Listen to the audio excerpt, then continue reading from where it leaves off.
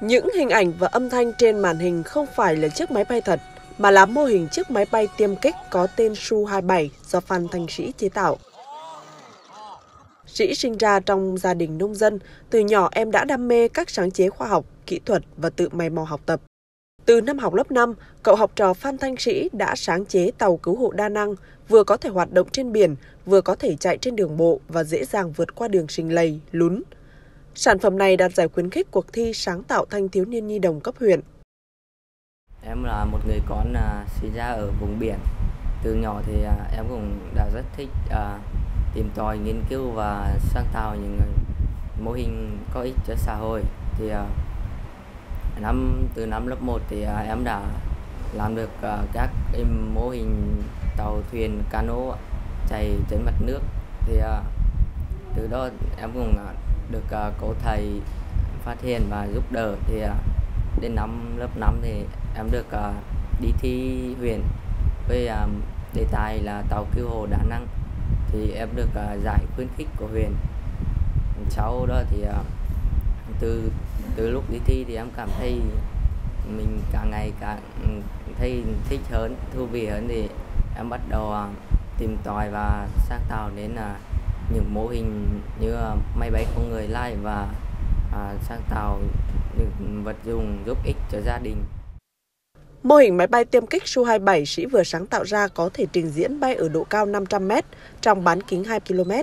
Để tạo ra mô hình máy bay Su-27, Sĩ dùng loại motor chổi than 180 của máy bay đồ chơi, sau đó tự nâng cấp thành motor điện không chổi than 3 pha, sử dụng pin LiPo 16,8V, dòng xả 35 tới 45C, sạc cân bằng B6 để mô hình có thể bay xa và cao hơn.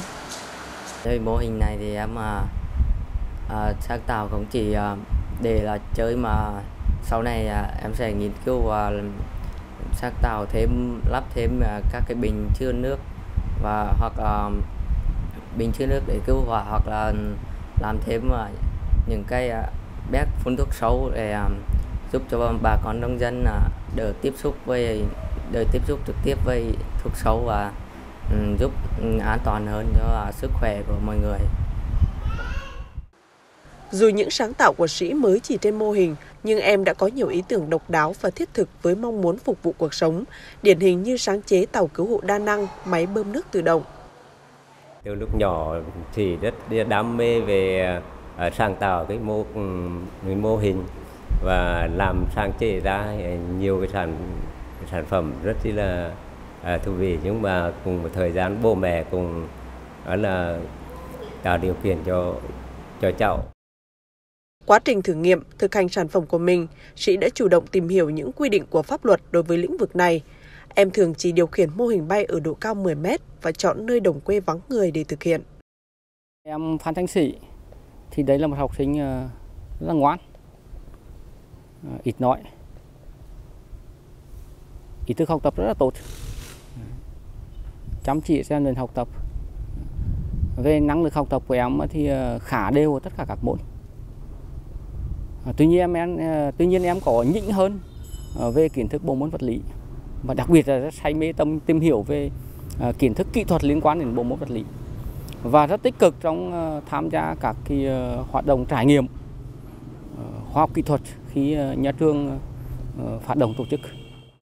Với mong muốn được học ở trường Đại học Bách khoa Hà Nội hoặc Học viện Kỹ thuật Quân sự để tiếp tục phát huy năng khiếu và theo đuổi niềm đam mê sáng tạo khoa học kỹ thuật của mình, Phan Thành Sĩ sẽ không ngừng cố gắng học tập để vươn tới ước mơ.